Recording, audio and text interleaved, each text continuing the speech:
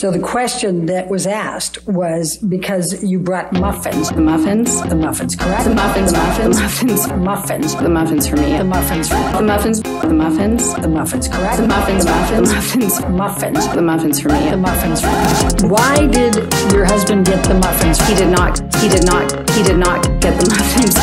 Why did your husband get the muffins? We can stop talking about the muffins.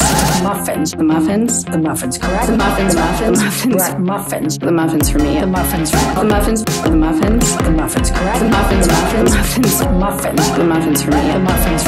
Why did your husband get the muffins? He did not. He did not. He did not get the muffins. Why did your husband get the muffins? We can stop talking about the muffins.